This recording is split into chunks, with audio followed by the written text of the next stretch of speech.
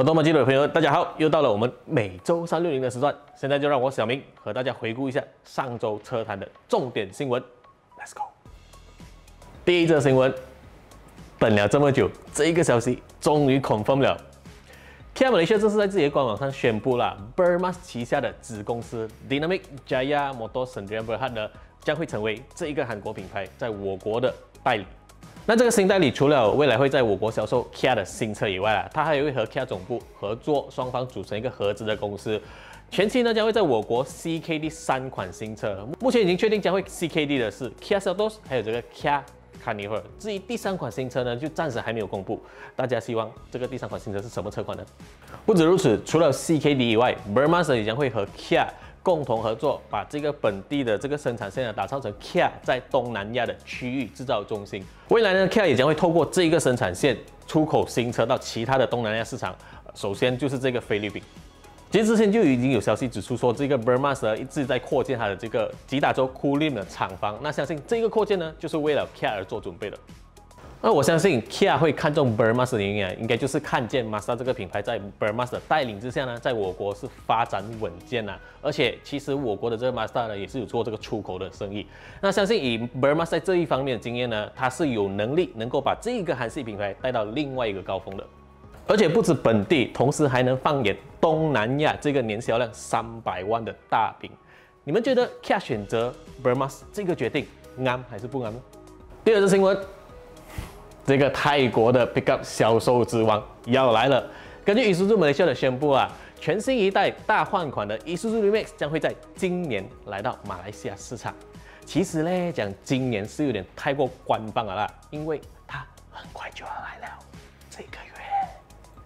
那我国的这个新一代 D Max 将依旧会备有1.9 L 的 Blue Power 柴油涡轮增压引擎，以及3.0 L 的柴油涡轮增压引擎，两种引擎可以选择。两具引擎呢都有这个六速自排和六速手排可以选择。在动力表现方面呢，大家可以参考旁边的这个列表。引擎呢是和之前一样啦，但是车子本身就真的是截然不同了。首先，它就采用了名为 Dynamic Drive Platform 的全新平台打造。这个平台是以九百八十 MPa 的高刚性钢材打造而成。除了更加坚固以外，它的车重也进一步减轻，让这个车重呢比上一代的 D-Max 是足足轻了二十八千那么多。而同时呢，这个车身指数方面，相比起上一代的 D-Max，这个新一代的 D-Max 也是大了少许。不过最重要的还是在外观上，这个新一代的 D-Max 啊，有一种从小鸭子变成天鹅的感觉。它采用了非常年轻化的设计，整个看起来就是很运动化的同时又很时髦。同时在内装方面呢，也是有很大的一个提升。除了整体设计更加现代化以外呢，质感看起来也是很不错，真的是很不一样了。目前，以 s u 美 u 是已经透露了这款新一代的 D-Max 在我国的预计价格啊，价钱是介于八万九千至十五万四千令吉之间。这样的价格买到这一辆帅气的皮卡，同时它又很省油，你们觉得这个定价如何？那接下来我们就看看另外三款刚刚在我国推出的新车。首先就是这个最新的二零二一 Mazda 6。啊，是一个改进版呐。首先，它是在这个配备上进行了升级，包括多了这个 wireless 的 Apple CarPlay，四点六寸的这个资讯显示器，十九寸轮圈。重点是这一回 Mazda Malaysia 还为它追加了 Poly Metal Grey 水泥灰的这个配色，我觉得哇，这个真的是帅很多。同时呢，在内装方面，顶级版还会导入红色的这个内装，看起来更加的运动化。那这个升级版的 Mazda 6在我国的售价是这样子，你们觉得这个定价如何呢？它其实算是目前我国最便宜的 D segment 房车哦，买吗，老板们？接下来呢，就是个号称地表最强2.0的 Mercedes-AMG A45S 以及 CLA 45S 了。在这个限量推出的 Edition One 版本呃卖完了以后呢，如今 Mercedes-Benz Malaysia 就宣布了这个所谓的更新版的 A45 以及 CLA 45。首先在这个掀背版的 A45S 身上呢，它主要是少了全景天窗，同时后侧两方呢是多了这个两具 airbag，也让这个气囊的总数达到了九个那么多。至于在 CLA 45S 上呢，则是多了彩色抬头显示器，以及同样在后方两侧是多了两个 airbag，同样总数也是九个 airbag 那么多。至于在其余部分呢，则是维持之前的配置，包括战斗格十足的 AMG 空力套件，以及四百二十一匹、五百牛米的高功率二点零涡轮引擎，都是和之前是一样的。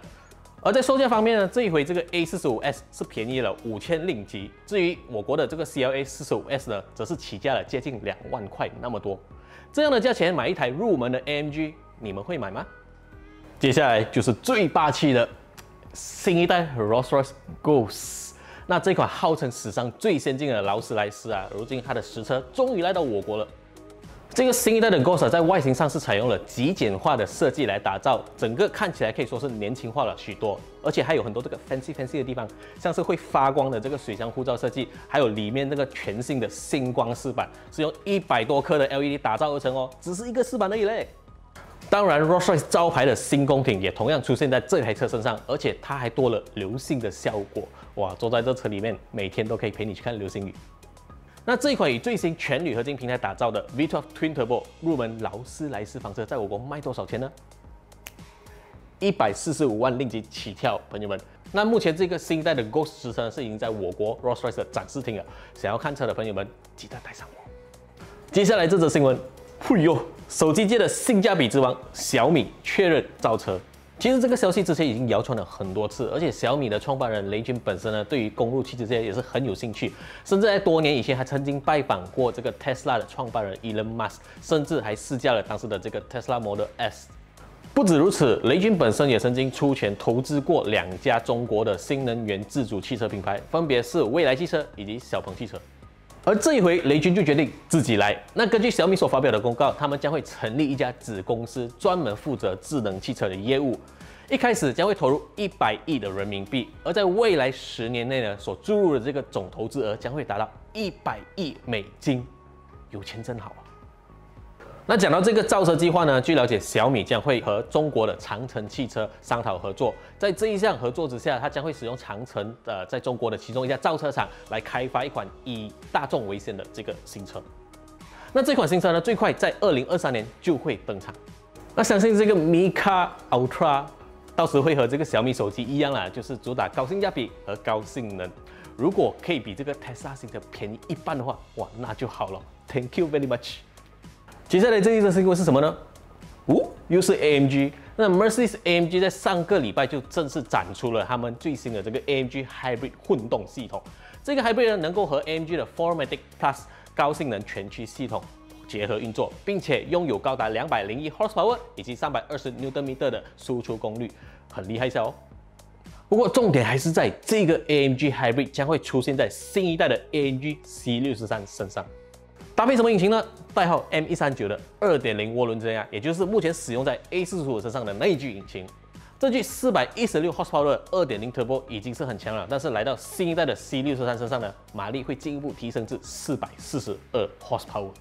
而在结合了这个 AMG Hybrid 以后呢，新一代的 C 六十三在马力方面有望达到一个六百五十 horsepower 的境界。至于峰值扭力呢，更可能高达九百 Newton meter。哇，九百 Newton meter 这个。这个数据也不要讲吊打同级对手，已经是接近 Supercar 的 level，winner 喽。只不过这也意味着未来又少了一款使用 V 型引擎的 AMG 车款了，不知道你们能够接受这样的改变吗？好了，以上就是这一期的每周三六零的所有重点新闻，就不知道这一些新闻当中有没有你心仪看中的车款呢？欢迎在下方留言发表你的看法。我是小明，我们下一期的节目再见。记得哦，喜欢这一期影片的话，不要忘记按赞、分享，还有继续订阅我们的频道。拜拜。